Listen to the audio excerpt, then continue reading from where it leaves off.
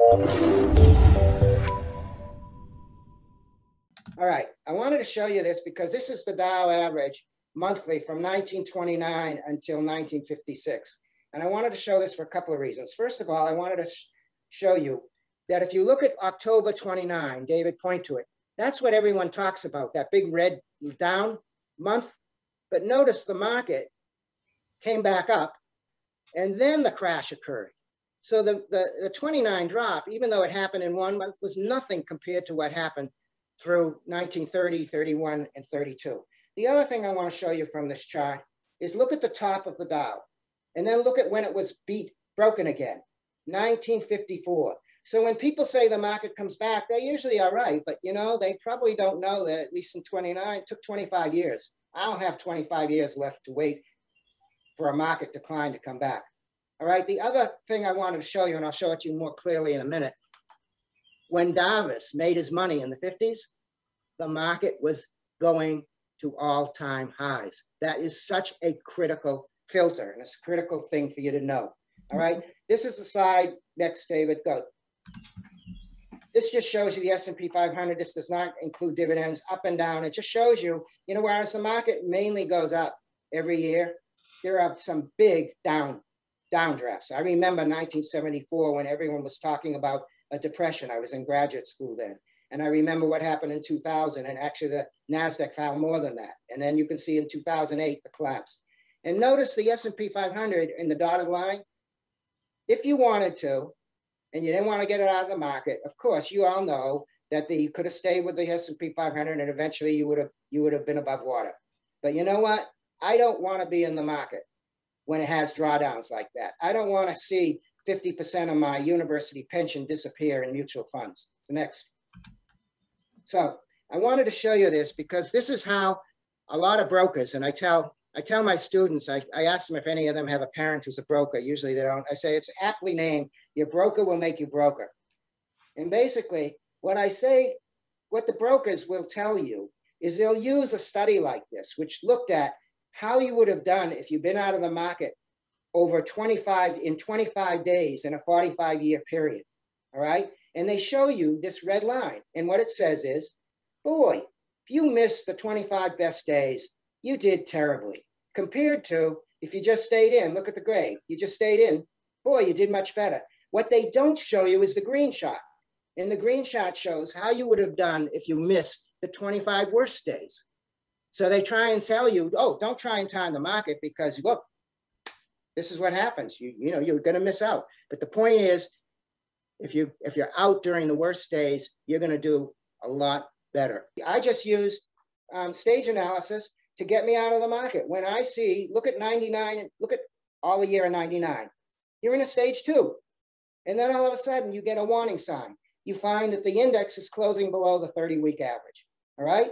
And then the third, go back, David, you get the 30 week curving down. When that happened, that's when I got out of the market. Okay. And so you can see then the um, Qs were at 79, around 79, 80 that time. Look what happened after that. The Qs fell down into the 20s.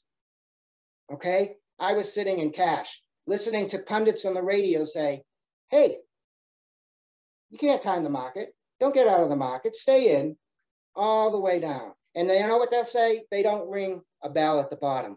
And that is so silly because if you get out of your mutual funds or something at say 100 and it falls to 20, as long as you get back in before 100, you made money. You did fine. So then here's when I got back in in 03. You started to get the beginning of a stage two uptrend, the, the 30 week turned up. All right. So I got in, and that year I know my account was up 53%, which may not be much to you, a lot of you traders, but for someone who's running a research center and doing everything else and not watching the market every minute, that was good for me and for my pension. Now, next, look at in 2007, you're going to stage two uptrend for most of part of 2006, most of 2007. Then you close below the 30, 30 week. I got out over there. All right. Now, you can see a few weeks later, the Qs, this is the Qs, by the way, the Qs went above the 30 week. And I said, oh my, maybe it's going to turn. But you know what? The 30 week had been, had been um, coming down I waited. It was coming down. I was not going to be in the market. I get out around 43. What happened after that, David? Here's where I exited. And look what happened. Again, I got out, sat out the market in 2008, got back in afterwards. And this shows you what the market, you can see you're back to a, in 09, you see you're back to a um, stage two. You can be back in the market. And then when you get in 2010, when it's going below, maybe you take some money off, it comes back up above the 30, you're back in. And by the way, when I listened to the podcast of Stan Weinstein, he was suggesting rather than the 30 week, which is equivalent roughly to the 150 day moving average, 30 times five, um, he uses the 200 day now, but I still use the 30 week. The Guppy multiple, multiple moving average indicator is basically two groups of, of exponential moving averages. You don't have to know what they are. They're just simple moving averages. Uh, one thing, um, they just average a bunch of closes.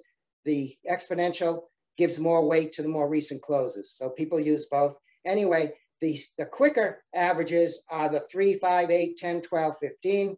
And the longer ones are these, the 30, 35, 40, 45, 50, 60. I say days there, but this can be weeks. This can be done over any any time frame. You can go to guppytraders.com and learn about it, okay?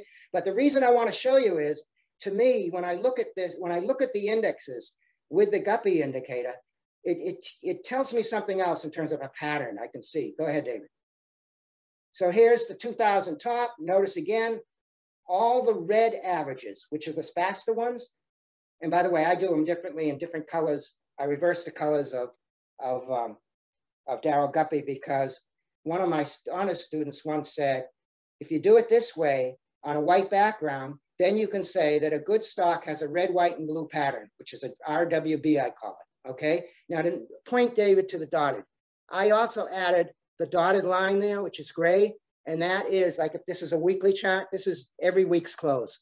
Okay. So you can notice during an uptrend, it's the market's closing the week almost always above all the red, red lines. And when it doesn't, when it finally closes below, point to that, David, a little lower, right there. When it's below all the red lines, that can be a warning sign. So look what happened. That's what this is what the 2000 top looked like. You still were red, white, and blue for a period. When red, white, and blue dis disappears, when that white band disappears, I tend to get a little defensive. But you can see it still kept going up for a little while. And then look what happened. Now you have what I consider a solid downtrend, blue, white, red. This is the 2000, right through 2002. So this is another way of looking at the market, stocks, and ETFs that can give you a really good idea of what the, what the trend is.